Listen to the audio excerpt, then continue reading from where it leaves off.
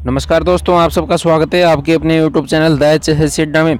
देखिए, आज जो अपना नोटिफिकेशन है स्टेट 2018 से रिलेटेड उसकी नोटिफिकेशन आ गई है। इसका आवेदन कब से कर सकते हैं आपके? कब से इसकी लास्ट डेट है और कौन आवेदन कर सकता है? कितनी फ़ीस है और इसका एग्ज़ाम कब है? क्या बी वाले हैं जो पीआरटी में अप्लाई कर सकते हैं या नहीं कर सकते हैं? इस वीडियो में हम सारा जानेंगे। देखिए, जो अपना इसकी जो फ़ीस रखी गई है इसके लिए, जैसे कि आपकी स्क्रीन पर दिख रहा है, इसके लिए जो फ़ीस रखी है जो एस और पी एच कैंडिडेट हैं, उनके लिए जो लेवल वन के लिए है पाँच सौ रुपये दो लेवल के लिए है नौ सौ रुपये और अगर तीनों लेवल में अप्लाई करता हो तो उसकी बारह सौ रुपये है। और जो जनरल कैंडिडेट है आपके, उनके लिए हज़ार रुपये है। और अठारह सौ दोनों के लिए और चौबीस सौ आपके तीनों, अगर तीनों के लिए आवेदन करना चाहते हैं आप, ये आपकी जो डेट फ़ीस है, जो वो रहने वाली है। और जो ये फॉर्म स्टार्ट हुए हैं, आज जो 19 तारीख आपकी दो बजे से ये फॉर्म भरने स्टार्ट हो जाएँगे आपके। और इसकी जो लास्ट डेट है, आपकी तीस नवंबर है, आपकी तीस नवंबर इसकी लास्ट डेट है। और इसमें करेक्शन आप कर सकते हैं, इक्कीस नवंबर से तीन दिसंबर है, जो तीन दिसंबर तक आप इसमें करेक्शन कर सकते हैं अपना वेबसाइट पर जाके फ्री ऑफ़ कॉस्ट और जो इसका आपका एग्ज़ाम होने वाला है एडमिट कार्ड जो आपके हैं एडमिट कार्ड ये सेंड नहीं करेंगे आपको पोस्ट के द्वारा। आपको जो रोल नंबर स्लिप है आपका बीस बारह दो हज़ार अठारह से आपके जो एडमिट कार्ड आएँगे। और जो टी जी टी का रहे पी जी टी का रहेगा आपका एग्ज़ाम, वो पाँच जनवरी 2019 को होगा आपका। और जो टी जी टी के लिए होगा आपका, वो छः तारीख को होगा आपका। और पी आर टी का जो प्राइमरी के लिए है, वो भी आपका छः तारीख को आपका एग्ज़ाम होने वाला है। अब आगे देख लेते हैं आपका जो क्वालिफिकेशन से रिलेटेड है आपका इशू जी क्वालिफिकेशन का। ठीक है? क्वालिफिकेशन का इसमें मेन रोल है। क्योंकि पीआरटी के लिए जो अपना सेंटर ने तो लाव कर दिए थे के ने भी अभी भर दिए थे तो इन्हें देखना कि एस्टेट इन्होंने एस्टेट के लिए क्वालिफाई माना है या नहीं माना है, जो बीएड वाले हैं उनको। तो इसमें देख लेते हैं अपना। यहाँ पे जो क्वालिफिकेशन का सेक्शन है, देखिए मिनिमम एजुकेशन क्वालिफिकेशन जो पीआरटी का है आपका, इसमें इन्होंने लिखा है कि बारहवीं होनी चाहिए आपकी, जो पहली और एलिमेंट्री एजुकेशन ये तो अपना जो बी वालों के लिए नहीं है। सीनियर सेकेंडरी इसमें भी बारहवीं होनी चाहिए आपकी। और जो डिप्लोमा इसमें दो साल का होना चाहिए। यहाँ पे भी सीनियर सेकेंडरी और बैचलर है आपकी एलिमेंट्री एजुकेशन में। और यहाँ पे जो सीनियर सेकेंडरी है, यहाँ पे भी आपकी डिप्लोमा और एजुकेशन का आपका आपका प्लस टू लेवल का ही है ये। और यहाँ पे देख सकते हैं आप, यहाँ पे ग्रेजुएशन तो लिखा हुआ है इन्होंने। ग्रेजुएशन आपकी होने चाहिए। लेकिन इन्होंने यहाँ पे बीएड नहीं लिखा two year diploma in elementary education ये यहाँ पे इन्होंने लिखा है। और मैट्रिक होनी चाहिए आपके पास, दसवीं या पोस्ट ग्रेजुएशन में किसी में भी एक सब्जेक्ट आपका हिंदी का होना चाहिए, हिंदी या संस्कृत का, ठीक है? ये इसमें इन्होंने क्लियर लिखा नहीं है कि भी जो बीएड वाले हैं, वो भी अप्लाई कर सकते हैं। यहाँ पे इन्होंने ये लिखा है कि भाई आपके पास ग्रेजुएशन के साथ डिप्लोमा होना चाहिए एलिमेंट्री एजुकेशन का। इन्होंने बीएड नहीं लिखा यहाँ पे। तो इसका हम क्या मान सकते हैं? ये तो अब देखिए, इसमें ऐसा लग रहा है कि ये हम जो बीएड वाले हैं, ये अप्लाई नहीं कर सकते आपका। क्योंकि इन्होंने इसमें बीएड नहीं लिखा, इन्होंने डिप्लोमा ऑफ़ एलिमेंट्री एजुकेशन लिखा है। ठीक है?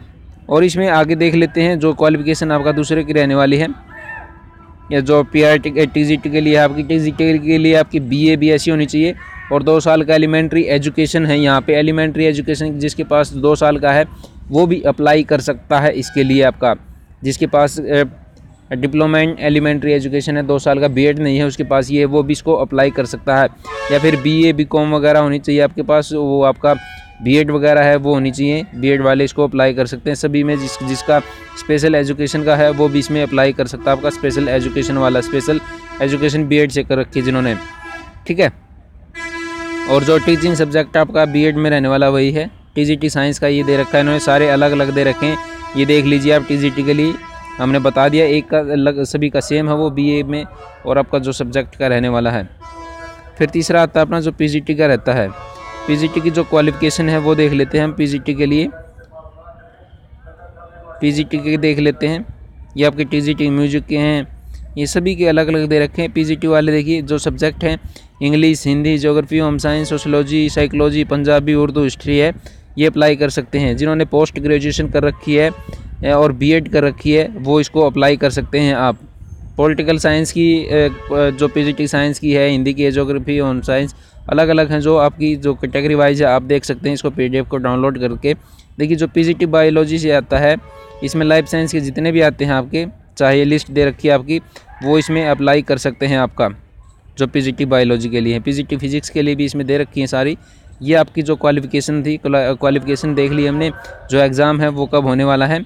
इसका सिलेबस भी हम कंप्लीट सिलेबस है सर आपका पीआरटी का है, उसका अलग लेके आएँगे, और जो आपका टीजीटी का डिटेल में सिलेबस जो कॉमन सिलेबस है आपका वो रहने वाला है। जो चाइल्ड डेवलपमेंट पेडागोजी के तीस क्वेश्चन और हिंदी इंग्लिश के पंद्रह पंद्रह क्वेश्चन रहने वाले हैं आपके अकाउंट के दस रहने वाले इंजीनियरिंग के दस, हरियाणा जी के दस आपके क्वेश्चन रहने वाले हैं, जो आपका पीआरटी लेवल है। और मैथमेटिक के तीस और एजुकेशनल जो स्टडी आपकी एनवायरमेंट स्टडी उसके तीस रहने वाले हैं, ये आपके।